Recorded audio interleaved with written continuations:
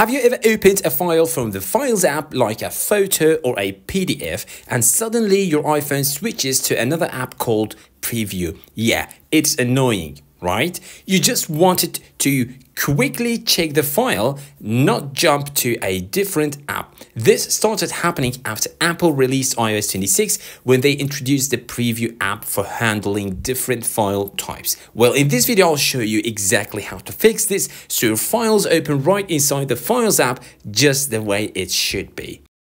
So here's what happens. When I open the Files app and tap on this PDF, you can see it opens in preview. The screen switches and we are no longer in the Files app. That's what's been bothering a lot of users. It's like you lose your place every time. Alright, here's how to fix it. First, in the Files app, find the file you want, for example, this PDF. Instead of just tapping on it, tap and hold on the file. From the menu that pops up, tap Open With. Now choose Preview with Quick Look.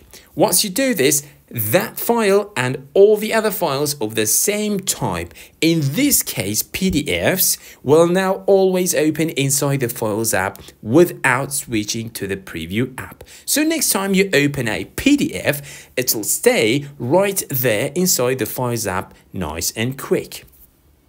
Keep in mind, this only applies to one file type at a time. So after fixing PDFs, if you also want your photos or images to open inside the Files app too, just repeat the same steps once for an image file and you're done. You don't need to do it again for every single photo, just once per file type.